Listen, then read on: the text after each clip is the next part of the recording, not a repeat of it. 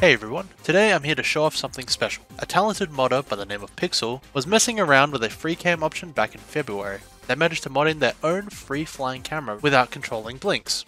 This is something that I've wanted for a long time and I'm so glad that Pixel was able to mod this in. I tested this out on my Twitch channel back when it first released and was super amazed and excited, going through all the levels in a way I could never explore it before. Then, in March, Pixel updated the FreeCam mod again with a bunch of cool additions. I'm going to show what this FreeCam mod offers and how to install it.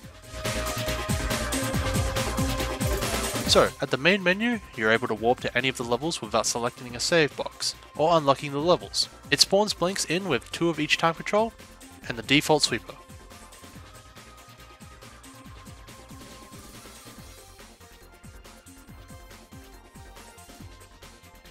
To go into free cam mode, you press back on the Xbox controller and it zips you to camera mode. This camera allows you to go anywhere with no clip.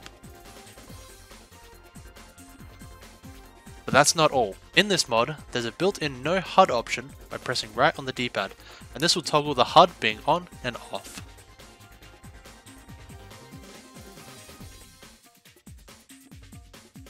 Pressing left on the D-pad shows the collision of everything in-game, so now you can see all the janky ass walls that Blinx has to offer. Pressing up and down on the D-pad changes Blinx' expressions, so you can get those sweet, sweet thumbnails.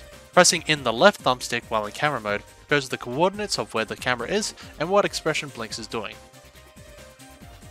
Installing this is actually really easy. It requires you to have your Blinx XBE and then patch it with an IPS file. If you have a Blinx ISO, you can extract it with the CXbox tool and have your Blinx XBE extracted. Also, before you do this, it needs to be a specific version of Blinx. It needs to be an original release NTSC version. I believe it will not work if it's Platinum Hits or a PAL version. So, here's what you do.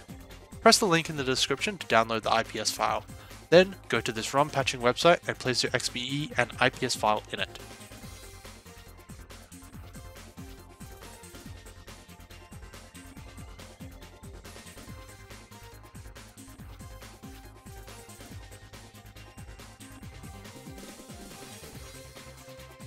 Patch it up and boom, your XBE is patched with FreeCam. You can run this immediately on your original Xbox or CXBX. To run it on Xemu, you'll need to repackage it into an ISO. If you need any help with this, I have a video that I made about how to use CXbox tool. And that's it. I hope you guys can have some fun with this FreeCam mod, and feel free to give your thoughts in the comments below. Once again, a big shout out and thank you to Pixel for making this FreeCam mod. Praise be Pixel.